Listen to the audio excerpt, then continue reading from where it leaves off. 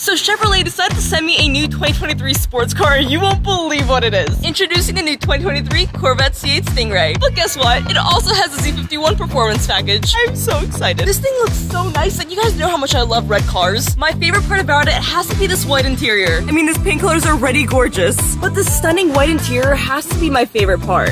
And the seats have carbon fiber. Cars on fire. The seat is so comfortable and I love the fact that it's short roll friendly. Easy access seatbelt. You can rest your hand comfortably at the 12 o'clock position position. When I sat down, I feel like a race car driver because everything is directed towards you. I love how this display is faced towards you. And since it is a Stingray, that means it's a convertible. Look at this beautiful digital cluster. It has a performance timer. This car is absolutely stunning. And now it's time for the test drive. Stay tuned.